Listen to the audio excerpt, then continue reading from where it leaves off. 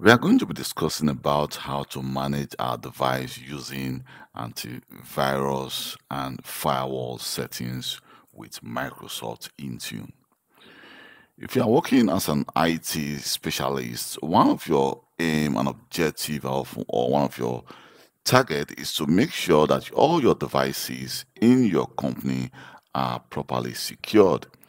If your task is to manage the Microsoft Intune environment, definitely you want to make sure that you have all the required skills on how to configure the antivirus and firewall settings using Microsoft Intune. So if I go to endpoint security, and from endpoint security, you can see that we have different options we can actually use to manage our device. Here you can see say manage. We have antivirus, disk encryption, firewall, endpoint privilege management, we will have attack surface reduction, account pro protection, and we also have the conditional access. But I want to focus more on antivirus, firewall, and probably we can actually look at attack surface reduction or account protection. So let me click on antivirus. At this moment, you can see we don't have any policy. We can check on healthy endpoints, active malware, so let me just go back into summary and then here we can actually create a policy. I can now select the right operating system, which is going to be Windows. And then we can select a profile. It says Defender Update Control, Microsoft Defender Antivirus. So let me go for the Microsoft Defender Antivirus and then click Create. Here I can just call this, let me just call this endpoint. Oh, I think I think I have to check. Okay, endpoint policy, and then let's click next. So by clicking next, here you can see it says allow arch archiving. You can see most of them are not configured. So what we can do is the following. You can say allow archive scanning. We can say, well, I want to allow scan the archive file by default. Allow image scanning. I can actually allow that as well.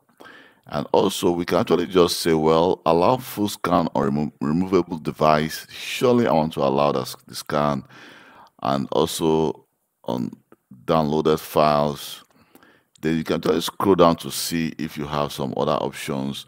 I'm not going to actually do everything on this. I just want to just show you that we have a lot of other options we can actually configure. So if you are working in an, in an enterprise environment, definitely you want to take your time to actually check everything step by step because anything you configure beyond what the organization required may actually cause a lot of issues um, among your users because if you have thousands of users and you deploy a specific policy to the users before you now revert that issue so many users may have issues trying to actually for example access a specific file or that for example i can say allow scanning network files well, I will not allow that. Allow script scanning.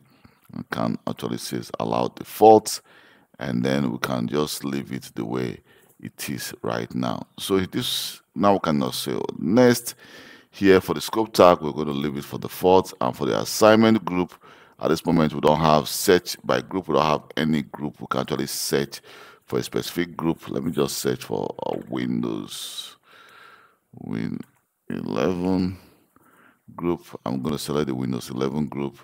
Well, we can actually include or we can actually exclude. I only have one device in this group. So let me just click next and then save. So you can see at this moment the policy is being saved, it has been assigned, and it says yes. So after creating antivirus policy, we can actually uh, as well create a policy for firewall, or for example, we can also do a device encryption. So let's try to create a device encryption policy. So if I click create policy here, we can select the right platform, which is Windows, or you can go for Mac OS. Now I want to select, you can go for BitLocker or personal data encryption. So I can go for, let me just select BitLocker and then click create. So I'm going to call this, let me just call this BitLocker policy and then click next. So here we can see we have, first of all, we have the BitLocker, we have the BitLocker drive encryption, operating system, and more. So if I click the BitLocker, require device encryption, we can say, well, it's enabled. Allow warning for other disk encryption, configure recovery password rotation. I'm going to say refresh on both Azure and hybrid. And then BitLocker drive encryption, choose drive encryption method. I'm going to say enabled. I think we're going to leave it for the required, the selected default and I provide a unique identifier for your organization, well, I can select that, but for now, I'm just going to leave it at not configured. And then we have the operating system. First drive encryption type on operating system, I can say enabled, allow users to choose the default, which is okay.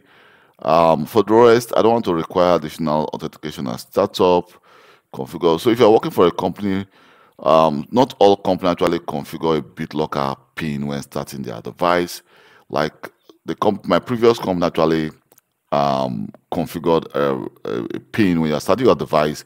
You need to enter a BitLocker pin before you can actually uh, continue to uh, start your device. But my recent company I'm working for, you don't need to actually configure, you don't need to enter a pin. It's only when you change specific hardware on that device, then you'll be requested to enter the BitLocker uh, recovery pin. So here we have, for example, we can say choose how BitLocker protection operating system drives can be recovered.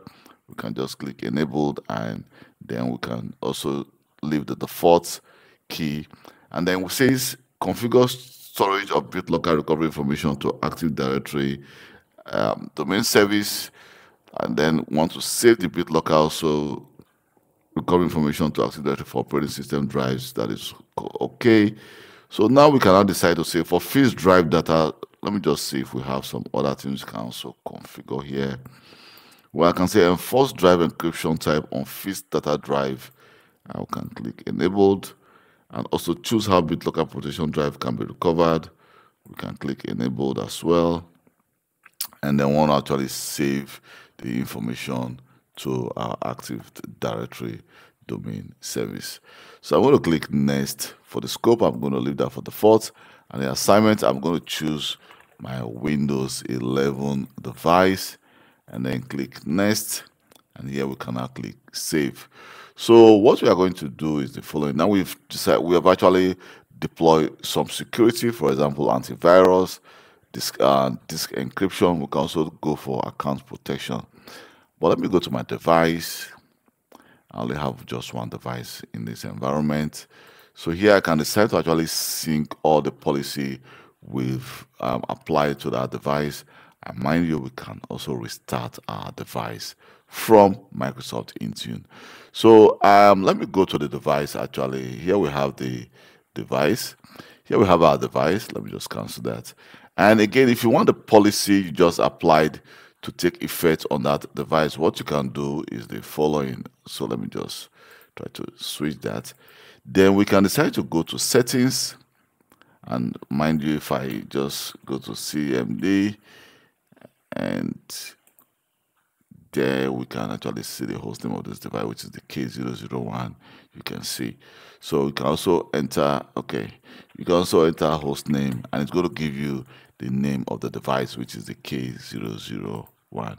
So here I want to go to accounts and then let me go to access work or school accounts and then we can now go to our domain name and then click info so here I want to actually sync all the policies that have been applied to this device. And then it is going to take some time for the policy to also get refreshed to this device. So let's just wait for that. So right, right now you can see that it says your work or school requires this device to be encrypted. Select this notification to encrypt this device. So you can see that the, the, the, the process takes immediate effect. So if I click OK, and mind you, here, if I just click my file explorer and I go to this PC, you can see that there is no encryption on this device. So it says, uh, well, are you ready to start encryption? I can say yes, I don't have any other disk encryption software installed. I can select that. Do not ask me again, and then we can say yes we can start the encryption process on this device.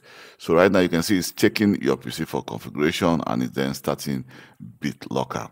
Well, I'm going to save to your Azure AD account. Can click save and then click next.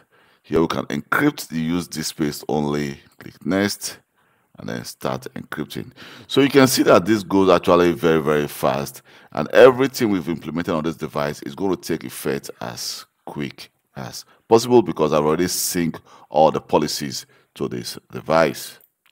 So this is going to take some time before it gets completed. You can see it's just moving from 92 to 93 and then it will get on at things and even encrypt your device using Microsoft Intune.